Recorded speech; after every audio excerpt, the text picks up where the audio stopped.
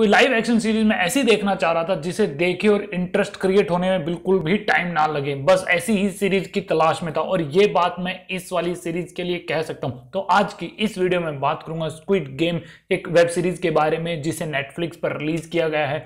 एकदम तरोताजा सीरीज़ है। टोटल इसके अंदर नाइन एपिसोड और मैंने अब तक इसके चार ही एपिसोड देखे हैं।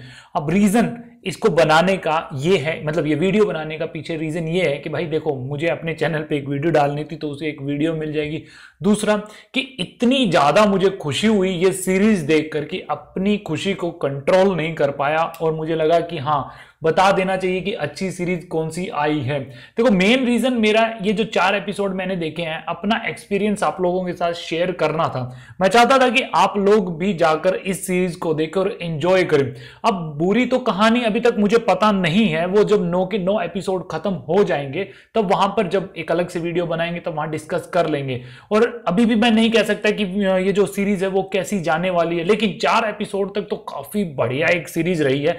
जिसको मैं डेफिनेटली तभी, कितनी खुशी हुई तभी तो एक वीडियो बना रहा हूँ। और इसके हर एक एपिसोड की जो लेंथ है वो तकरीबन एक घंटे के आसपास है। कोई थोड़ी बहुत पाँच मिनट कम हो सकती है। मतलब एक घंटे या एक घंटा, एक मिनट इतनी भी हो सकती है। यानी टोटल मान लो कि नौ एपिसोड है तो नौ घंटे के आसपास ये पूरी सीरीज़ खत्म हो जाएगी।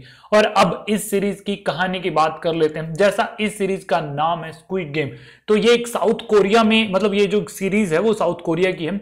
तो ये जो साउथ कोरिया में गेम खेला करते थे बच्चे, वहाँ से उठाया गया है स्टार्टिंग में इंट्रो में बता देते हैं।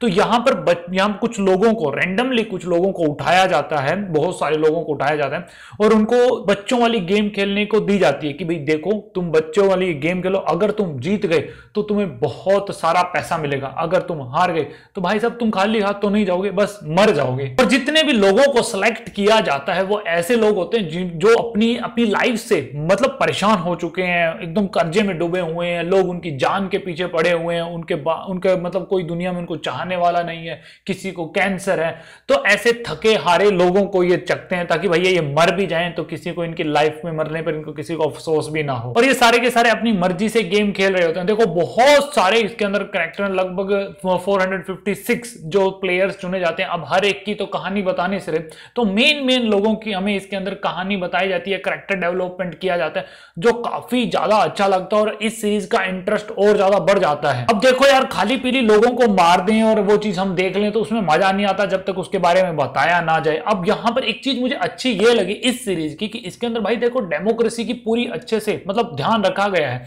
यहाँ पर लोगों को कहा गया जितने भी ये लोग आते हैं कि देखो, अगर तुम लोग मेजोरिटी में वोट डालोगे तो तुम्हें यहाँ से जाने दिया जाएगा या गेम रद्द कर दी जाएगी, कोई भी दबाव नहीं रखा जाएगा।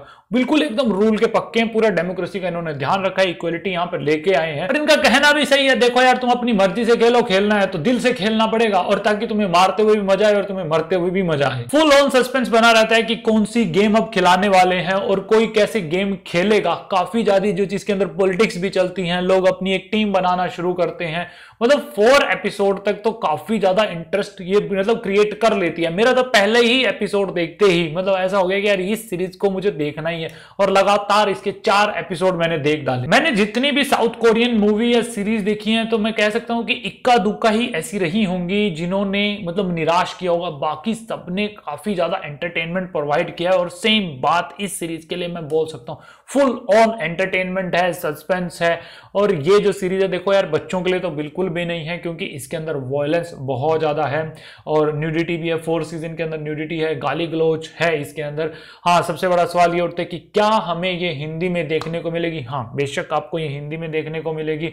जो अच्छी बात है कि भैया इस सीरीज़ को हिंदी में कन्वर्ट यानी डब किया गया है तो जिनको हिंदी वाली चाहिए थी तो हिंदी है इसके अंदर। और अभी फ़िलहाल इसको रेटिंग देने का तो देखो कोई सवाल पैदा होता ही नहीं है, जब तक इस पूरी सीरीज़ को खत्म ना कर लें, तब तक। देखो, अब एक और वीडियो मुझे बनानी है, देखो, मुझे दो वीडियो बनाने को मिलेगा कंटेंट मिल जाएगा चाहे जो भी है। तो बस आज के लिए इतना ही रखते हैं इस वीडियो में। अगर आप लोगों ने ये सीरीज़ देख रखी है तो प्लीज़ कमेंट करना कि आप लोगों को कैसी लगी। बेशक आकर आप जहाँ यहाँ पर मतलब कमेंट बॉक्स में स्पॉइलर लिख सकते हैं, क्योंकि जब तक आप लिख रहे होंगे, मैं मतलब वो वीडियो या मतलब कि ये जो सीरीज़ है, मैं देख रहा होऊँगा। मतलब मैं उस कमेंट पे ज़्यादा ध्यान नहीं दूँगा। तो बस आज के लिए इतना ही था इस वीडियो में। Thanks for watching this video मिलते हैं नेक्स्ट वीडियो में। जय हिंद।